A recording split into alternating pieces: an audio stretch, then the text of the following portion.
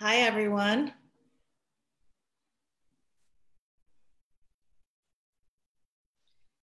So thank you so much for joining us. I know that um, more people will be walking into the room as we get started. And I just want to thank everyone for joining me on the day of my book launch. I'm Julie Suk. I'm the author of We the Women, the Unstoppable Mothers of the Equal Rights Amendment. And I was a little bit sad at first when I realized that I'd be launching my book in the middle of a pandemic and that I would not be able to have a live book party with um, see, seeing everyone in person and um, hugging all of you and signing books. But uh, I had to take advantage of the situation we're in. And um, the fact that we were going to do this virtually meant that I could be joined by two really amazing women who have meant a lot to me over the decades, including Maryana Iskander, who's joining us from South Africa today. Maryana and I entered law school together 20 years ago in the year 2000, and she was my feminist rock uh, while we were in law school. She now lives in South Africa and runs this amazing organization that works on youth employment issues. Uh, and um, right after law school, she worked as the chief operating officer for Planned Parenthood uh, for a number of years. So I'm thrilled that she's joining this conversation. And I don't think it's an exaggeration to say I would never have gotten to the point of writing this book had I not been talking about women and law with Maryana for so many years. Uh, we're also joined by Sara Berliner today, my good friend uh, whom I've known since college. Uh, Sara started this amazing social enterprise a few years ago called Vote Like a Mother. You can see Sara's shirt that says Vote Like a Mother. Uh, and Sara has been really active, and we've had amazing conversations over the years about motherhood and parenthood as a lens for politics. And she started an organization to uh, try to help bring that issue uh, to the fore. And so I'm really thrilled that the two of them will be joining me in a conversation to launch We the Women. So I'm going to turn it over to Maryana. Thanks, Julie. I just want to check that you can hear me and it's all good before I just start talking. All good and testing. So I first actually want to also acknowledge um, another connection that Julie and I have, which is the Paul and Daisy Soros um, fellowship. It's a organization that really acknowledges and recognizes the contribution of immigrants to the story of America, probably um, needed now more than ever. And I want to thank the Paul and Daisy Soros Alumni Association for participating and helping co-sponsor this event. I think that um, Julie and I have many strands of history together, and that is another important one. I have um, the uh, delight of telling you more about um, my friend who, as Julie said, um, we've walked a journey over many decades talking about many things. In trying to think about how to tell you more about Julie's um, illustrious life, I thought we'll get all the fancy credentials, degrees, titles, and stuff out of the way and talk about the things that I really know Julie for and that I think this book really brings to life. Julie has um, achieved many things and participated um, in the work of many institutions. She's currently at the Graduate Center at CUNY, but prior to that was at Cardozo Law School. She has contributed to the scholarship and learning of law students at Harvard, at Yale, at Columbia, at Chicago, at UCLA. She is um, somebody whose academic interests have taken her um, out of the law and into, I think, very interesting intersections in the social sciences. And we'll hear a lot about that in the book. But what I really want to talk about is, I think, Julie's courage and commitment um, and the journey that she's been on in writing this unbelievable book. It was, I, I read it actually all in one sitting um, and can't wait for more of you, I think, to hear and learn the stories of these women that, that Julie has brought to us. And what I really wanted to say to you, Julie, is how proud I am, I think, of really the courage that you have shown to the causes that you care about. And I think the best way to introduce you is in the one sentence that you've used to introduce yourself. Um, you describe yourself as a mother striving to bend the arc of the moral universe. And for me, that is who you are and excited to start this conversation. before uh, we actually hear more from Julie, I want to just hand over to Sara. Thanks, Maryana. Um, thanks to everybody for joining us today.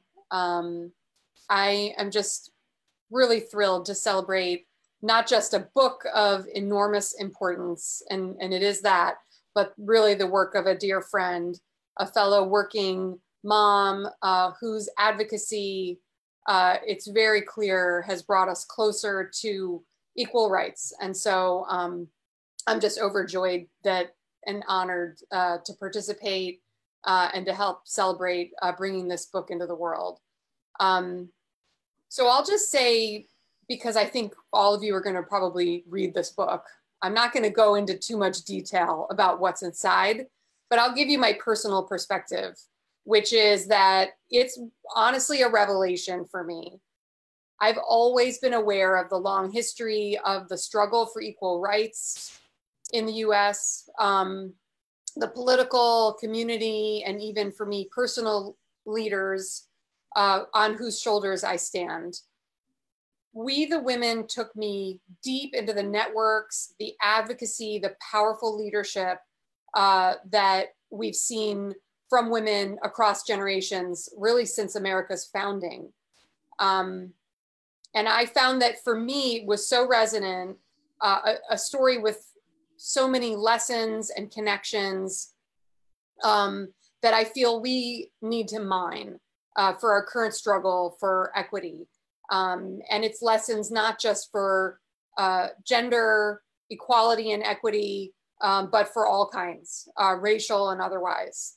Uh, from the struggle for suffrage to the early ERA that the suffragists envisioned and battled over, um, decades of scuffling in DC, uh, the influence of the Stop ERA movement um, and recent state legislature battles in Illinois and Virginia, I really found that Julie's portraits of both the renowned people, the household names, and the underrecognized founding mothers along the way um, really situated what we are working on today in this context uh, that to me just added additional weight and additional um, uh, impetus to to take up this fight and to bring in the younger generations because uh, I think as a Gen Xer, the ERA kind of flew past me as a footnote.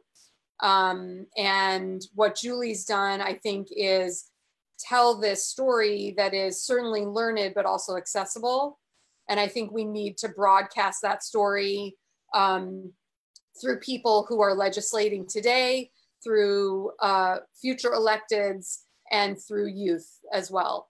So um, I'm really excited to talk, to get in deeper, to hear more from Julie, uh, have some additional um, context, and even to hear Julie from you a little bit about the process of writing, you know, on a more personal level. I'd love to hear a bit about that.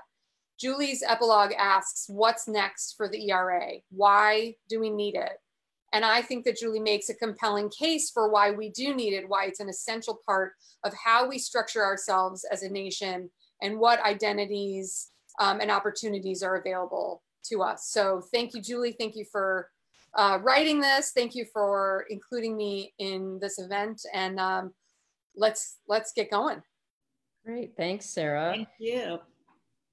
So Sara and I are going to ask Julie a few questions just to get us started, but the chat is available if you guys have comments. We will open up, um, I think, to, to others as well. So I'm just going to get us started. I think what Sara said that really is, for me, very profound, Julie, is it's it's a book that tells uh, a, a historical story so relevant for the time that we're in now and so relevant for the issues that we're trying to to tackle. When you and I spoke last week, you said that one of the things about the book that really gives you a great source of pride is that some of the women are more known, but there are so many of these other stories to be told. And so I think with that as, as a backdrop, we are um, also in the midst of the cancel culture and uh, a reckoning of um, people's narratives. And I guess my, my question to you is, should Alice Paul be canceled? So thank you so much, Maryana. So Alice Paul is often credited uh, with having written and introduced the Equal Rights Amendment. She was a suffragist who really uh, was known for introducing some very militant tactics into the fight for women's right to vote. And, um, and when, when the 19th Amendment uh, suffrage was ratified, uh, she wanted another constitutional amendment right away, and that was the Equal Rights Amendment. And of course, she wasn't acting alone. Um, she was with the National Women's Party, which she started. Um, so there were many women who were on board with the project of uh, introducing the ERA uh, in uh, 1923 when it was introduced. But I think one of the issues with Alice Paul uh, was that she was very single minded in her approach, uh, both to suffrage and to the ERA. And sometimes it meant that the kinds of compromises she made to drive her agenda forward marginalized some of the other women who might have supported the movement and did in fact support the movement. Um, so uh, in, with regard to suffrage, this is a story because we're in the month of the suffrage centennial, um, a story that I think Americans are becoming more familiar with is uh, the way in which Alice Paul uh, really uh, was not comfortable with the full integration of African Americans into the 1913 suffrage parade uh, that she organized. And so African American women um, had to march in the back. Uh, and one of the African American women who did march with an African American sorority in the back, there was a wonderful story about this in the Washington Post uh, just yesterday, I think, uh, was Mary Church Terrell. And she was one of the founders of the National Association of Colored Women. Um, she was extremely cosmopolitan in her experience and outlook. She had traveled to Europe uh, since she was young and um, had been talking to suffragists in other countries in their languages uh, for, for many years. And she actually came out in support of the ERA uh, in the 1940s after many other women who um, Alice Paul uh, debated with in the 20s um, had sort of been on the fence about the ERA because they were afraid that the ERA might be interpreted in ways that would disadvantage working class women. So I think now that we're getting a fuller picture of Alice Paul, uh, I, today we might say she should be canceled because she's not the hero uh, that we all thought she was.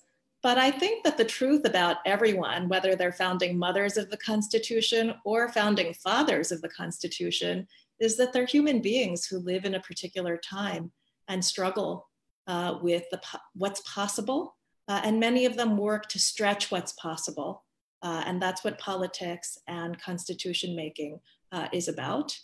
And I have deep admiration for Alice Paul because without her persistence, I don't think that suffrage would have moved as quickly as it did. And I don't think that the ERA uh, even though it also caused controversy, I don't think that the ERA would have really been put on the map at the moment that it was uh, without her. Uh, and I think maybe this is a way of saying that um, nobody should be canceled uh, because everybody's human.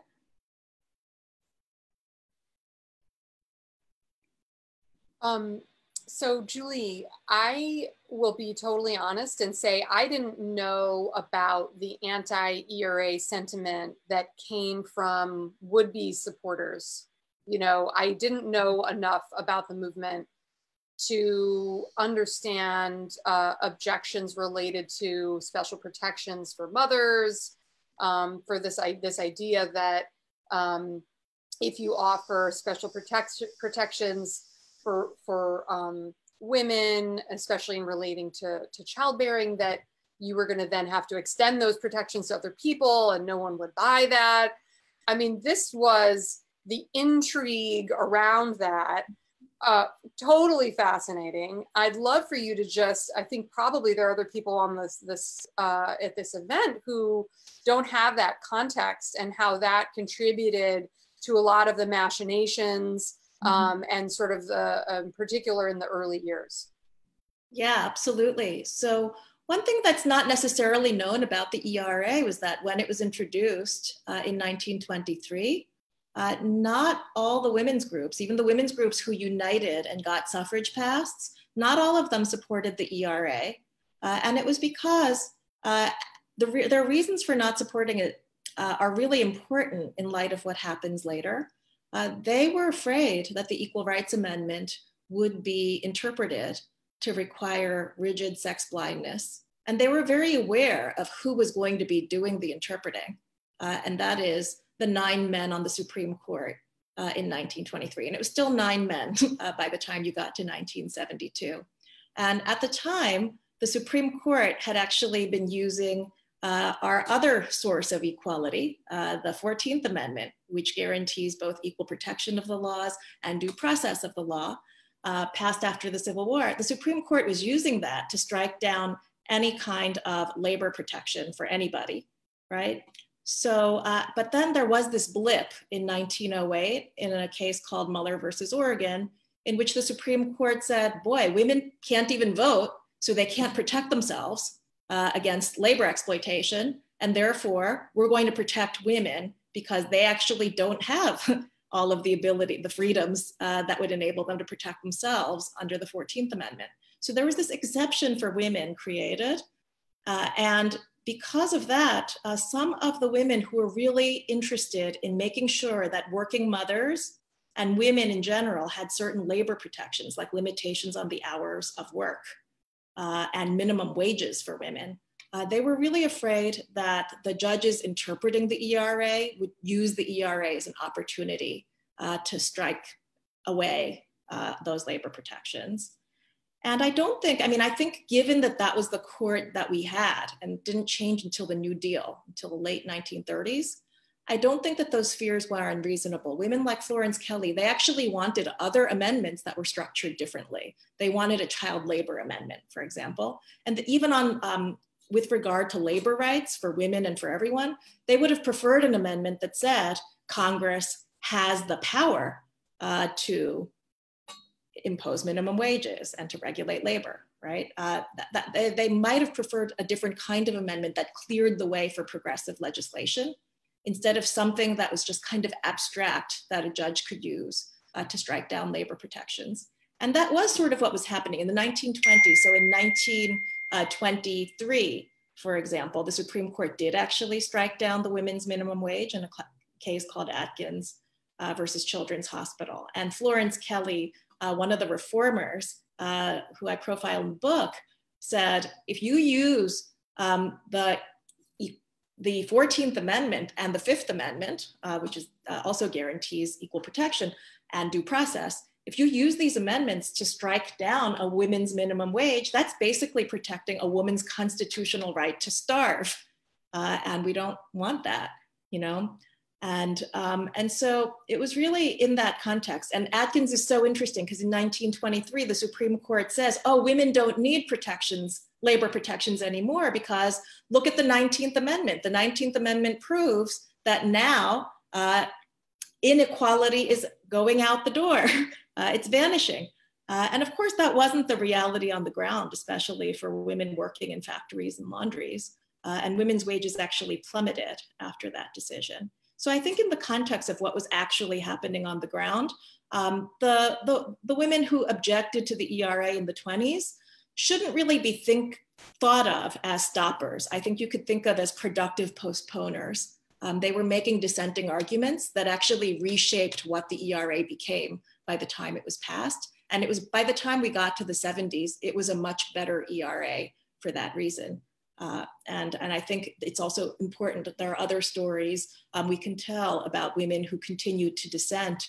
Even someone like Phyllis Schlafly, I think, proved uh, that if you didn't pay attention to the needs of mothers, um, it was going to be very easy to sink the amendment. Uh, and I think it is important then for the pro ERA side um, to have a discourse about motherhood and motherhood as a lens for politics uh, as a justification for equality. So, one of the women, Julie, that I um, learned about in reading the book was Congresswoman Mary Griffiths. And um, at one point, she says, um, and those of you who've just joined, I see we've had more people buy this book. It is incredible and um, and and and important. So Mary Griffiths says at one point, you know, the battle wasn't so much between the pro ERA and anti ERA. She says the battle is with the Supreme Court. And I think building off the reflection that you've just had, if we think about the moment we're in now and who is who gets to be in the business of constitution making and and understanding what your reflections are about that as it as it is in the kind of historical record of the ERA, but I think really relevant to the moment that we're in now as a as a country and as a society. Great. So Congresswoman Martha Griffiths was just really politically savvy. And she's the one 50 years ago yesterday, August 10th, 1970, uh, she really did this incredible thing. There were these guys on the House Judiciary Committee who just would not let the ERA get debated by the whole House. Uh, they kept it bottled up in committee for like over a decade. And Martha Griffiths spent the summer of 1970 doing a discharge petition, which means you collect the signatures of half of the House she cornered these people and got their signatures. And that meant that the ERA could actually be debated by the whole body instead of just the handful of men who were on the House Judiciary Committee. And once the whole body debated it, uh, like well over 90% voted for it. So that, that said, but what's really the content of what she said, why do we need an ERA?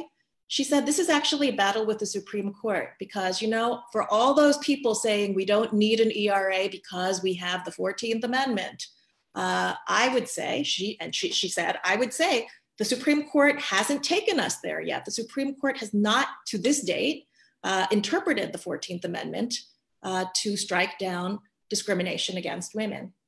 And what's really interesting about that move is that she's now invoking a very different vision of the ERA than the way that we normally think about constitutional rights even today.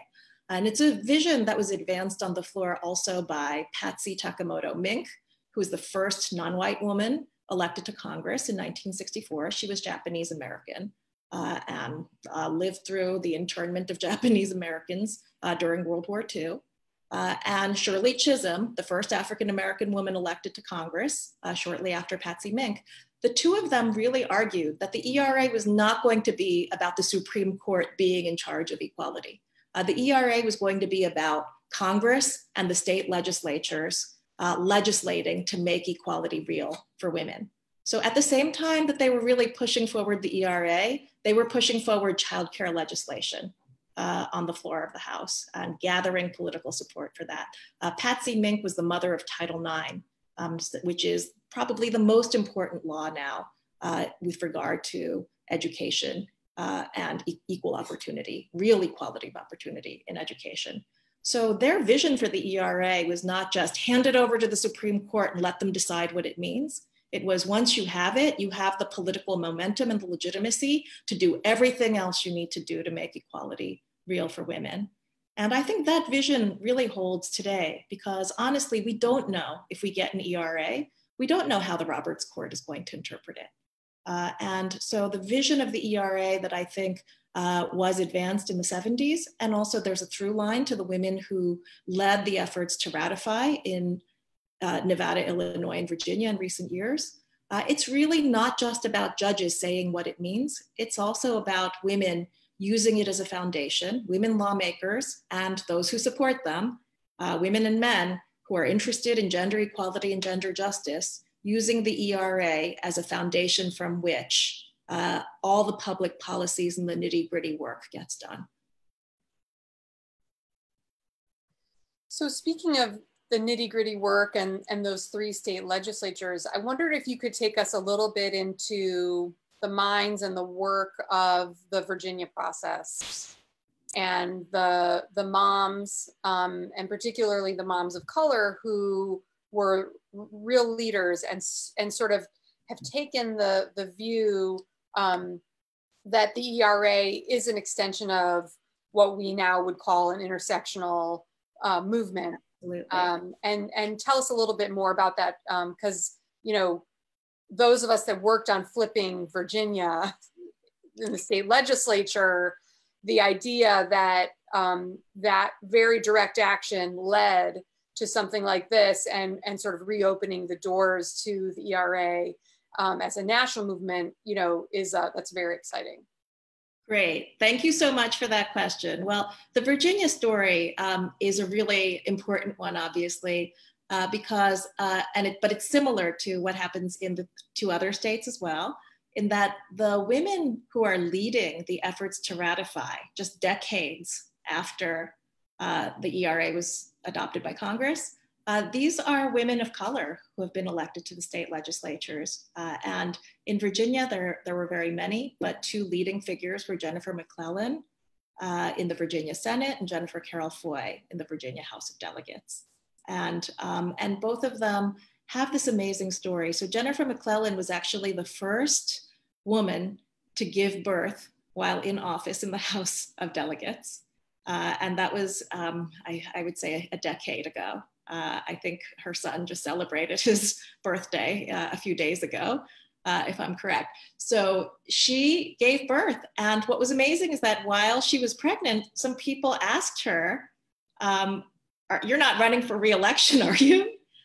And she just thought, why wouldn't I? And why is nobody asking my male colleagues whose wives are pregnant, who are also about to become very busy uh, raising children? And I think that is actually a fundamental question about the story of women in constitutional change. Uh, because, uh, and it's connected to the story of women's underrepresentation in politics. I mean, the Congress that adopted the ERA in 1970 to 72, where it was like 2% women.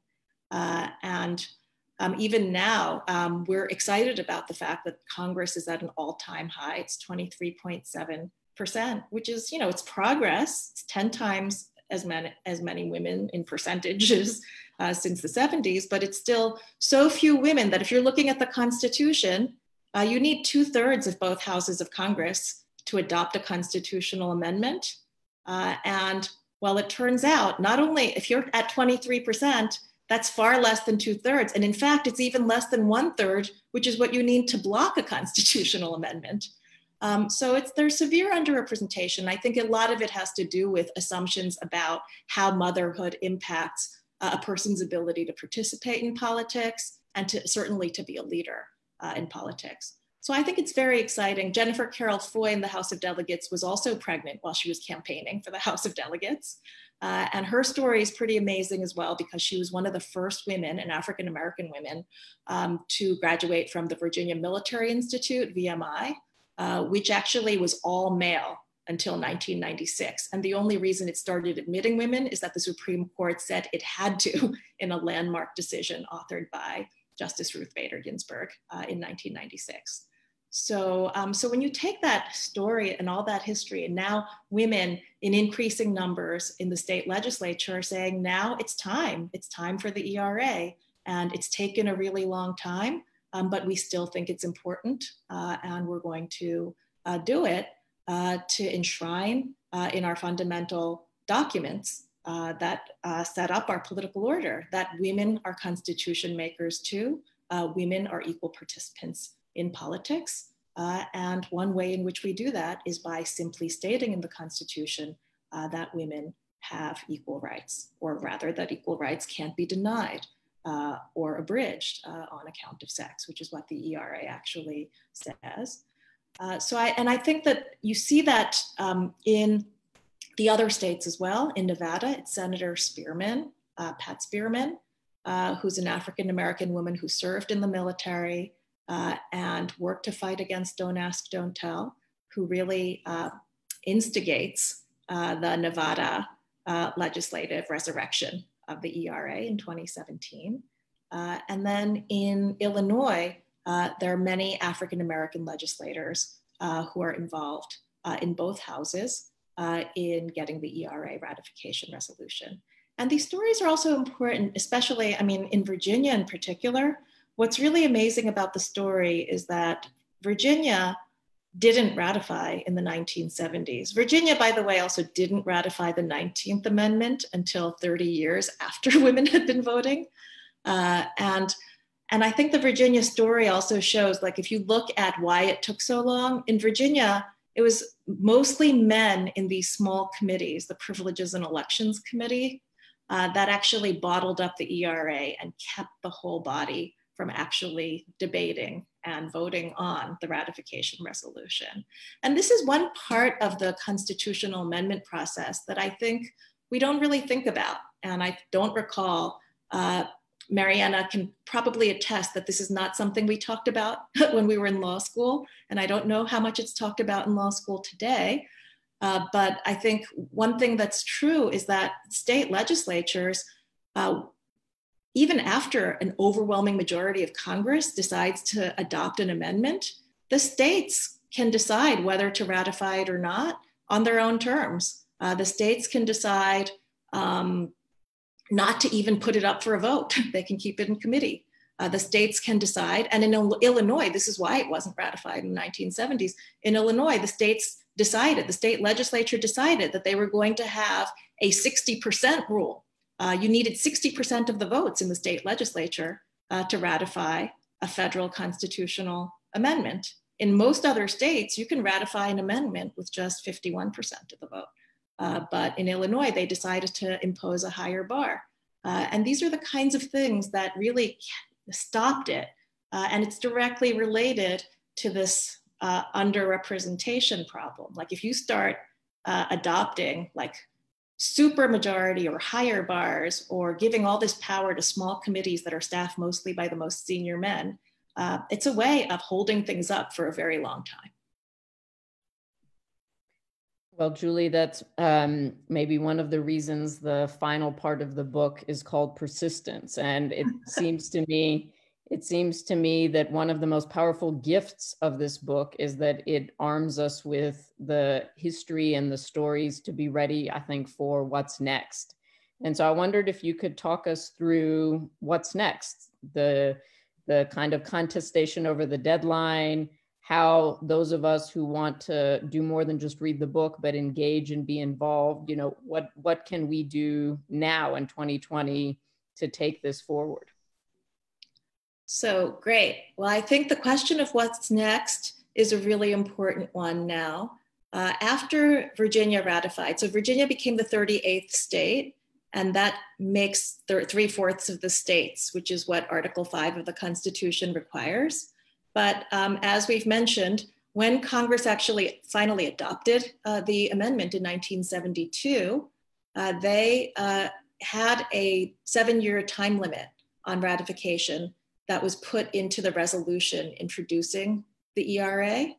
And because there was a seven year time limit, uh, in 1978, uh, Congress actually extended that time limit once uh, to 1982. They voted to do that. Uh, but unfortunately, uh, the ERA came three, short, three states short uh, in 1979 when the original time limit expired, and, um, and no, no additional states ratified before the extended time limit in 1982, uh, but the three states that we needed to get to 38 ratified in 2017, 2018, and 2020. So basically, they came in late under that deadline. And now the question is um, does the deadline have to be enforced? and who decides what happens? And I think there's a lot of disagreement with regard to strategy uh, about those questions but I'll just tell you uh, what I think. Uh, and, um, and a lot of it is driven by my understanding of the history uh, and the precedents around this.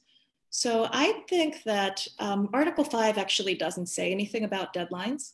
So there is this question as to whether or not um, its deadlines on ratification are a normal part of the Constitution amendment process. Uh, Article 5 doesn't say anything about it, but Congress has been using them uh, in proposing constitutional amendments pretty much for all the amendments that have succeeded since uh, the Prohibition Amendment in 1917, well, when Congress voted on it in 1917.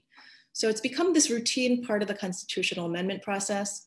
Uh, and it's not actually in the text of the amendment. Congress started putting it in the resolution introducing the amendment in um, in the later, in the middle part of the 20th century, but did that with the 23rd, 24th, 25th, and 26th Amendments, right? So one question is, um, maybe it's not uh, required that the deadline be observed. Uh, and that was certainly the understanding when, again, led by women like Liz Holtzman uh, in Congress in 1978. Um, I have a chapter in the book called The Game Changers about the women who led the deadline uh, extension. Uh, it seems that uh, when the deadline was extended, one understanding was that because it was in the resolution, Congress had the power to extend it. Uh, and that philosophy is very much alive now. Uh, Congress has the power to just remove the deadline altogether. And the House actually voted to do that this year. Uh, but right now in the Senate, there are 48 co sponsors. Uh, and Mitch McConnell is personally not a fan of the ERA. Uh, so it doesn't look like it's going to move in the Senate, at least in this term. Uh, but voters uh, have the opportunity to vote for candidates who support the ERA for both houses of Congress coming this coming November. Uh, and I do think that is probably the route uh, that is most likely to legitimize the ERA, just a vote in both houses of Congress uh, to remove the deadline.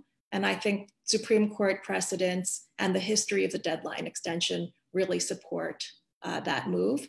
And, um, and I think even if that happens, uh, there will still be people who say it's too late, it's too late, it's too late. Uh, but I do think that if both houses of Congress remove the deadline, um, it will be something that the courts will respect. So last question, and then we're going to open it up.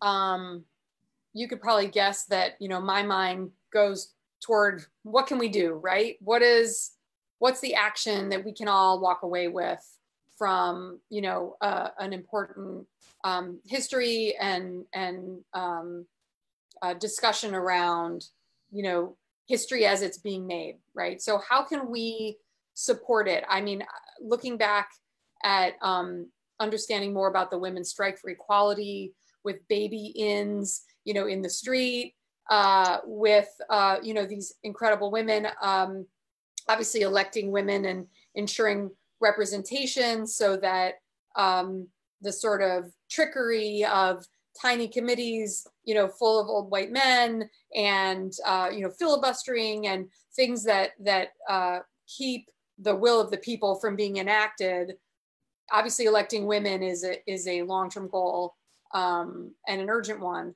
what are some other things that we could do to support specifically passing um, you know uh, uh, bringing it back to um, uh, the house and the senate to push that forward you know is it really about um, you know helping advocates that are working on that right now um, and sort of just making it something that's part of more a part of everyday conversation in terms of recognizing the ERA. Um, tell us tell us what we can do, Julie. Great. So I think that in the immediate near future, a lot of it will have to do with elections. Uh, that is, if uh, if people support uh, the path to adding the ERA, uh, that seems to be the most likely right now uh, then uh, they should really pay attention uh, to the Senate. Uh, and they should make sure that the majority that voted to, ex- to remove the deadline uh, in February of this year in the House is preserved, right? And you know, some of the those who voted to extend the deadline are also up for reelection, and we should make sure that those folks are reelected uh, and then in the Senate, I think. Uh, so I think immediately, just in 2020, um, it can be an election issue with regard to the composition of the Congress. Uh, but I think uh, in, I kind of wrote the book with a longer history and longer uh, future in mind. And I think one of the big questions is that, um, I mean, what does it say about our Constitution uh, and about the United States as a nation? most countries in the world since World War II have had provisions guaranteeing equal rights, regardless of sex, equal rights between women and men. It's a very common feature uh, of every constitution. Uh, the United States has tried but failed again and again to get such a provision. Uh, does that mean, and I'm, I'm saddened by the fact that I think the dominant narrative, and it's a dominant narrative that was put in the TV show Mrs. America, is women failed to get an ERA because women didn't want it. Uh, mothers and housewives fight, fought against feminists, but it's because women didn't want it, and that's why we don't have it. And I don't think that's true. Uh, I think that we don't have it because the process of constitutional change in this country, enshrined in Article 5, and then practiced by Congress with the use of deadlines uh, and other maneuvers in Congress and state legislatures, have made the ERA fail for generations. And we should not be putting the spotlight on women fighting each other about the amendment. We should be putting the spotlight on the channels of constitutional change, what's written in Article 5 that might also need to be uh, reconsidered, uh, and what's not written in Article 5, uh, the committee system and deadlines uh, that we can change without even amending the Constitution. And I think part of it is it goes back to what are how we teach the Constitution, uh, not only to law students, but to high school students and middle schoolers, um, how we teach the students about the founding fathers who were uh, brilliant uh, but flawed. Um, they haven't been canceled, and nor should they be.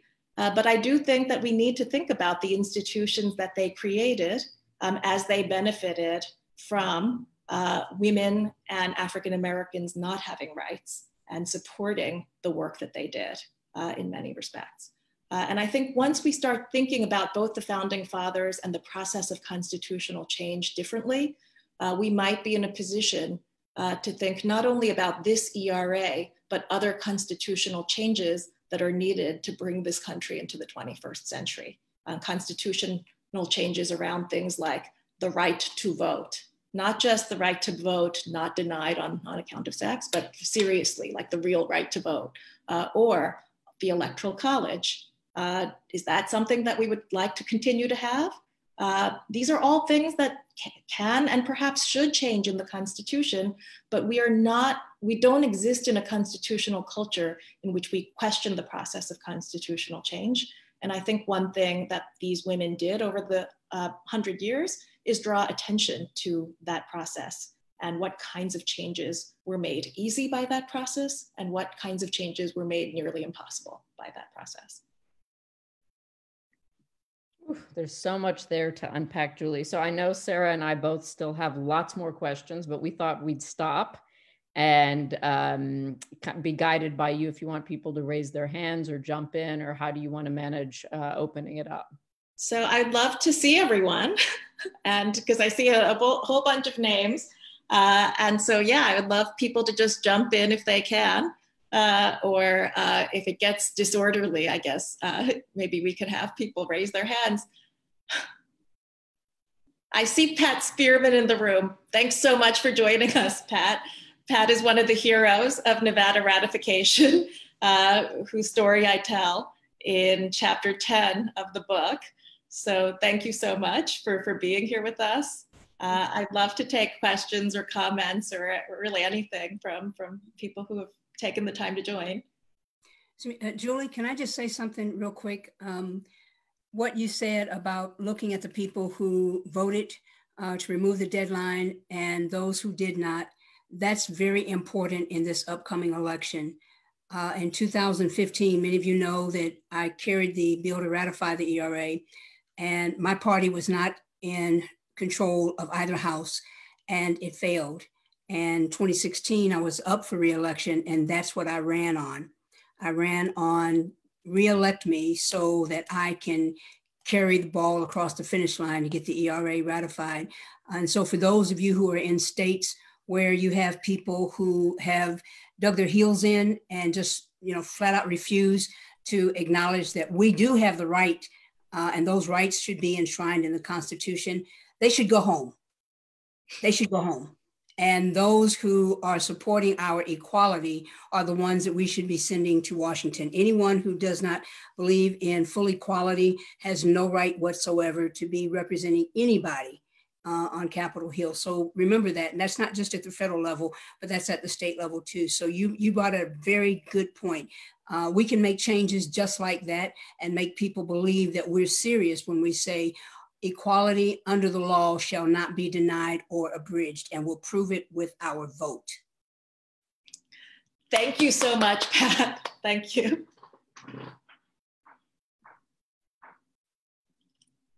Julie, I see two hands are up. I just wanted to flag that for you. Yeah, can we go to Lisa? Lisa Sales. Thank you so much for joining, Lisa. She's also been uh, behind the scenes working in Virginia for a lot of the changes that I talk about in the book. Oh, thank you, Julie. Hi, Pat. Hi, Carol. I see lots of faces. Hi, Cobby. Um, so wonderful to see everyone here. Congratulations on your book. Mine is being delivered, Amazon says tomorrow. I'm just uh, uh, want your signature. um, so I put in the chat, I was trying to hide. I, uh, I, I put in the chat, do you think if we get more women elected to Congress and to state houses, there would be less resistance overall to changing the very constitution, and not just for the ERA, but the other things you spoke of, like the electoral college and et cetera? So I think it's it's a hard question to answer because I don't want to give the impression that every woman who has been elected supports the ERA uh, and support, supports progressive uh, positions. Uh, I think it's kind of complicated. Uh, but that said, uh, I do think that um, thinking about why women have been underrepresented uh, has a lot to do, first, with their formal exclusion uh, because of their role in childbearing and child rearing, and then because of the difficulties uh, of uh, making a career, including a career in politics, when there's so little support for childcare uh, and child rearing uh, by our institutions and by government. And I think that's actually an issue that's really uh, heating up uh, because of the ways in which the current pandemic uh, has laid bare uh, the, the problem of caregiving and working and being a full participant. Uh, and so, and I think that's actually something that's real for all people. And right now, the way that society uh, is structured uh, culturally and otherwise, uh, a lot of the burden does often fall on women and on, on mothers. Uh, so, I, and I think because of that, because of that within our culture, um, it's, it is possible that having more women in general uh, in leadership positions will just, as a practical matter, uh, draw more attention to those, that set of issues. Uh, and it's a set of issues that, I, that, that re require a whole bunch of changes in public policy, uh, and um, some of which uh, connect up to constitutional changes. Uh, so I think uh, yes, but not like not in like a kind of bullet direct way. Uh, but yes, I do think that it, it will create more of an openness to change in the future.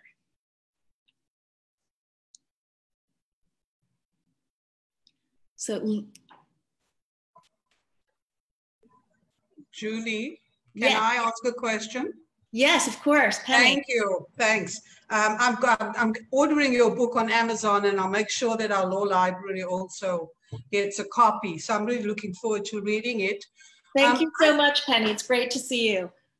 Thank you. I'm, I'm sort of thinking you, you mentioned that in your last comment that constitutional change uh, requires sort of policy change.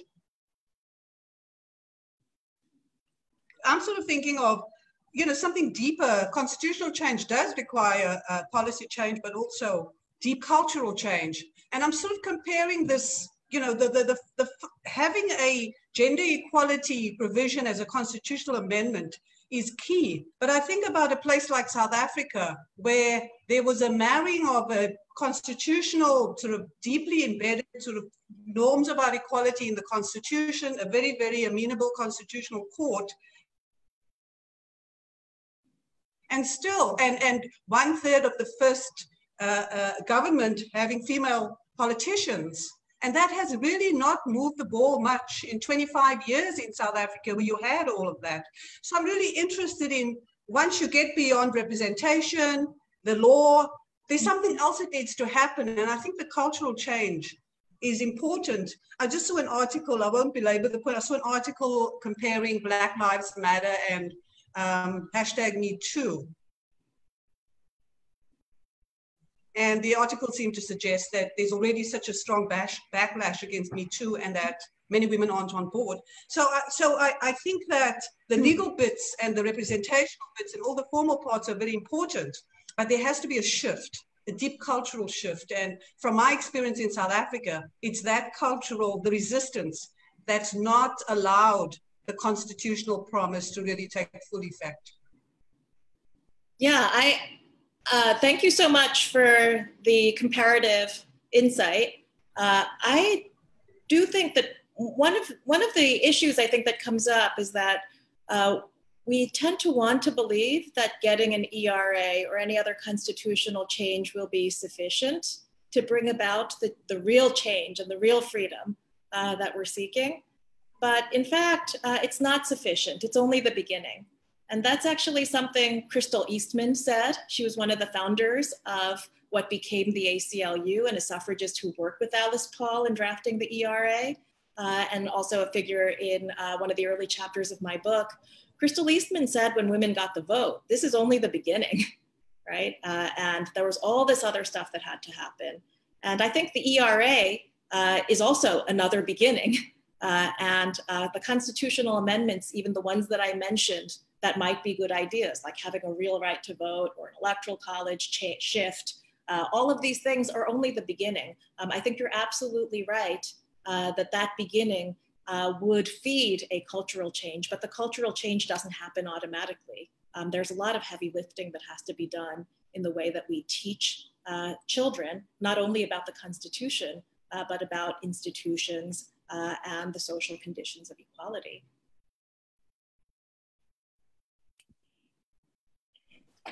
So thank you, Julie. Alice, so great to see you, Alice. Thank you so Hi. much for joining. How are you? um, I, I, was struck by one of the things you said, and I was late joining, so I apologize for that.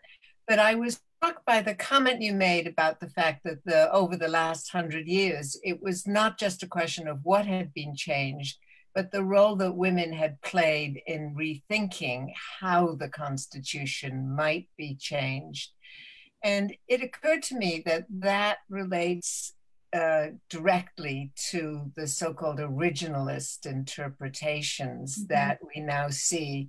And I'm wondering if you want to make a link between the way originalism sort of rose in the wake of the defeat or the you know the rejection or the non-ratification of the ERA to um, uh, you know the the way in which women who struggled for the ERA uh, were really confronted by this originalist interpretation and how that has really undermined us in the past 20, 30 years. So, thank you so much, Alice. Uh, it's a really challenging question because, on the one hand, um, I think one of the difficulties posed by the current revival of the ERA is uh, this genuine question as to what does an amendment mean if it's drafted in one generation, adopted by Congress in another generation, and then ratified by additional states in another generation, and then projecting into the future will continue to be interpreted by legislatures and judges uh, in future generations, right? And I think, and one of the things that I'm trying to do in the book is to show that women, um, I mean, as the struggle continued, uh, every time there was a measure of success, the women who started it were actually dead. Um, as you know, with suffrage, uh, the Susan B. Anthony Amendment, the 19th Amendment. Well, Susan B. Anthony was dead by the time we got that. And many of the women who were in Congress in the early 1970s who adopted the ERA are no longer uh, with us. Uh, and so there's this kind of building of transgenerational meaning uh, but I think there is an element of originalism because I don't think that the ERA, if we were resurrecting an ERA based only on its meaning in 1970 uh, or 1972, it may not be an ERA that's well equipped to deal with some of the reasons why uh, women are still interested in having an amendment today. Issues raised by the Me Too movement, um, inclusive LGBTQ uh, rights. Mm. Uh, so I, I, do think that it's because of this process by which um, the state legislatures uh, have debated about why it's still needed uh, and connected it to the past uh, that gives it its meaning. Uh, but I, I, in some ways, it's just still kind of originalist because I'm coming back to uh, what the public meaning is as created and led by the lawmakers at these different historical moments, and then seeing if we can create um, a democratic um, consensus across generations rather than a democratic consensus and meaning synchronously, uh, which is the traditional model uh, of uh, meaning making. Thank you. Riva. Hi, Hi Riva. Oh. Can you unmute? Riva, can you unmute? I believe Darren had a question first, actually. Darren is first, and then I want to engage that. Okay, I'm sorry. I didn't look in the chat box. Sorry, sorry. No worries. Um, Julie, Hi, Darren. Hi. Um, it's um, so exciting to see this project come to fruition, and I really can't wait to read it myself. Um, and, and actually, your answer to Alice's question leads up to mine because I think that generational question is such an exciting one um, because there's obviously a way in which the ERA effort um, really could lay the groundwork for inclusion of people of all sexes, including transgender and non-binary people. Yeah, absolutely. Um, and so I think it is, it would be a really interesting sort of cross-generational um, engagement, which hopefully we'll get the chance to do once the Senate um, um, authorizes the amendment to um, count. Um, but I guess the question that I had was actually related to what I see as the big resistance. So Gloria Steinem and Ellie Smeal posted uh, a piece recently criticizing Mrs. America, um, talking about how the insurance industry was really at fault and that it wasn't that women didn't succeed in passing the ERA. And I thought that was an interesting intervention. But for me, the more interesting intervention is to focus on the complexity of masculinity and of men around the ERA and how they played a role in, in maintaining their own power, excluding women from obtaining this tool that could have led to greater equality and inclusion and, and into positions where they could threaten men's, um, uh, you know, monopoly over um, corporate and political power.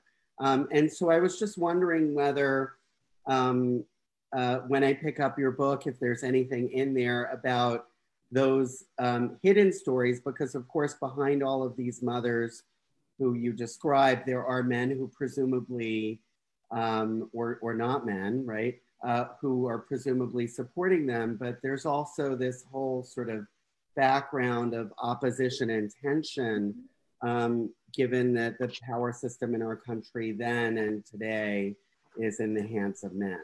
So any any thoughts on on those points? Yeah, absolutely. So I just had a piece in Sunday's LA Times about how then as now uh, the ERA is in the hands of men, not women.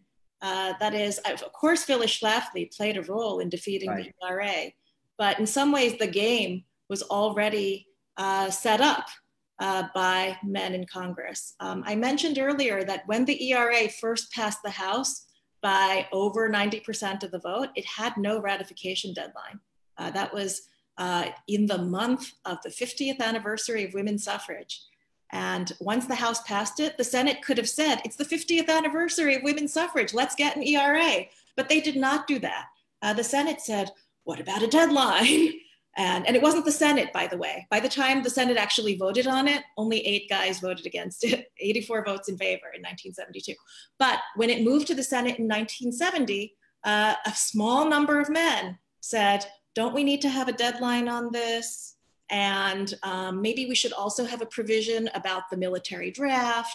And maybe we should also throw in school prayer and other things, right? So they made all these changes to the ERA which was actually a subtle way of killing it uh, without actually taking responsibility for opposing women's rights. Uh, so the ERA goes to the legislative graveyard, the one that had no deadline. Uh, and because of this maneuvering by powerful men in the Senate, uh, when Martha Griffiths comes back in 1971 to reintroduce the ERA, she says, you know what, let's just put the deadline in there uh, to quiet some of the critics. Uh, but the fact that so many men, if you look at the record also, there were men who voted for the ERA in the Senate, even though they might have preferred some amendments, they might have preferred a different language, but they voted for it. Uh, and that suggests to me that they might have voted for it even without the deadline. Uh, but lo and behold, the one that we got in 1972 had that deadline in it. And the deadline, um, one of the fiercest opponents of the ERA in the Senate, uh, Sam Ervin, said uh, he said, time is going to be my weapon and friend. Uh, and he started calling his friends in state legislatures, particularly in North Carolina, where he was from. Uh, and uh, there, the, the strategy in state legislatures was men holding it in committee as the ratification clock was ticking. That, was, that is what happened in Virginia. and seven years is actually a short time if that happens. and so that's the game. And of course, uh, the fact that there's also a culture war around mothers and wives led by Phyllis Schlafly uh, plays a role. Uh, and I don't want to downplay uh, the role. Uh, I, I, don't necessarily, I mean, I, I think Gloria uh, Steinem and Ellie Smeal are right that there are all these other forces at work other than Phyllis Schlafly, but Phyllis Schlafly also plays a role. But I think it is important. What I would like to do is shift the spotlight onto the way in which um, men, even when they don't represent the majority, or the people's will um, have used their discretion and used their power uh, to stop this thing uh, that has become a feature of constitutions throughout the world, as you know, uh, Darren, as comparativist, uh, and to stop this thing that was uh, had growing popular support, uh, both amongst women and men during this period. Thanks so much, Julie. I look, I'll, yeah. I'm reading the op-ed now. I just posted it for everybody else to read. I just got back from break, so I haven't gotten a oh, chance. Oh, no, but, but, as always, when we meet, we we have a lot of similar thoughts. So I'm excited about this project. Congratulations. Thank you so much, Darren. So did we have time for Reva? Um, Thanks I, for joining, Reva. Okay, so I didn't expect to um, take off my screen, but the comments about originalism provoked me, so I apologize for not being appropriately dressed. I was actually trying to write something with Julie, so I was keeping my screen down. Um, I'll just be really quick. I want to, um, first of all, say that I'm a massive fan of the book, and in part for a reason that hasn't been, we've talked about, but we haven't fully, I think, identified methodologically um, as in dialogue with this whole conversation about originalism, which is that it's showcasing all of these wonderful constitution makers who are women, who happen to be women. And when we talk about the people who make constitutions, they're never women. I mean, if you just think about the way we talk about the Constitution, it just so happens that they're just never women. And a feature of this book is that it happens to be populated by all these women who are busy talking about issues of constitutional meaning. And what I want to say as my second point is we can really focus on the importance of that without then fully embracing originalism as the method by which they become authoritative in our tradition.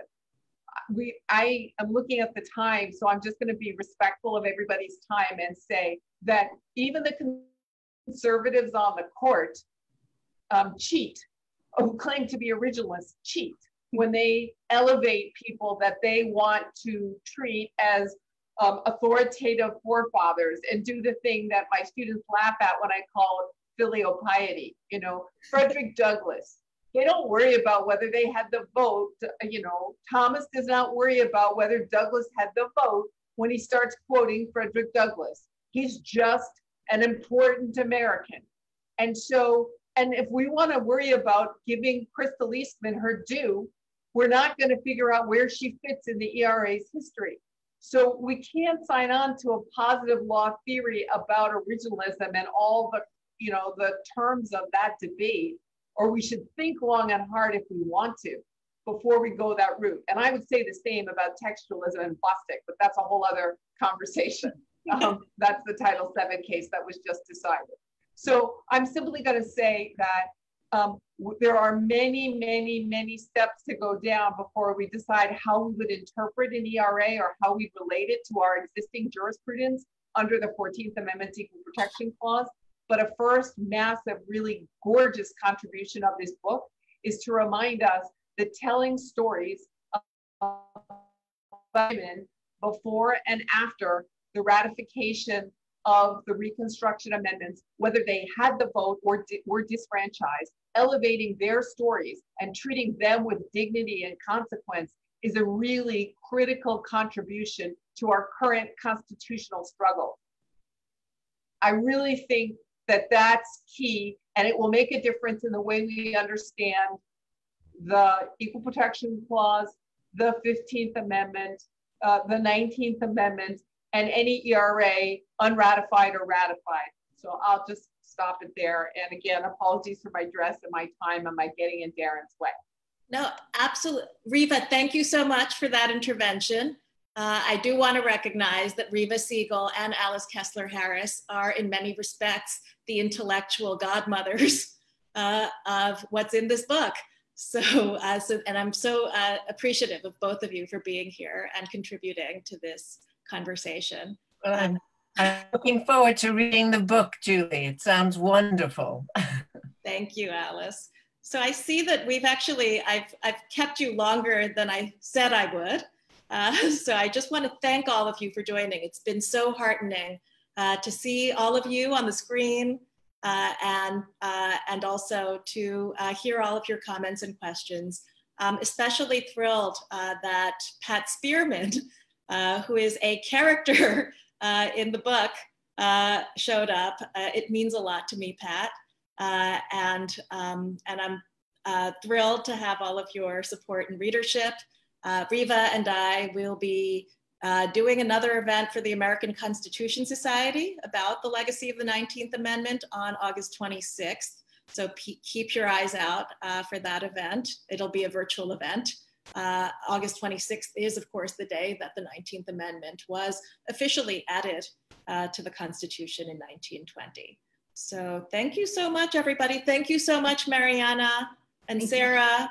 Thank you so much to Paul and Daisy Soros Fellows Association and Vote Like a Mother uh, and Meryl Moss and BookTrib for making this possible. Uh, it's been a wonderful launch event and I look forward to continuing the conversation with all of you.